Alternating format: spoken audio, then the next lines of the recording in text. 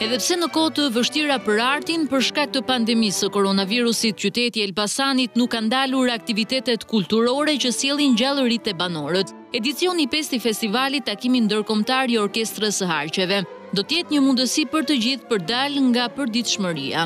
Sipas organizatorëve, muzika sheshon kufijtë, rikthen shpresën dhe shëron shpirtrat e plagosur, Ndaj gjykuan që edhe këtë vit të mos mungonte. Muzikantët e duan muzikën, duan të luajnë muzikë, sepse muzika përveç se të mirës, hap dyer, hap kufi. Pavarësisht vështirësive të mëdha që na dha kjo pandemi, ka një shprehje për ne artistët, arti do jetojë. Arti do jetojë në çdo kohë. Për herë të parë në këtë festival, edhe artistët performuan me maska. Pandemia bëri që katër grupe të tërhiqeshin në momentin e fundit nga pjesëmarrja. Në fund të festivalit u ndanë tre çmime.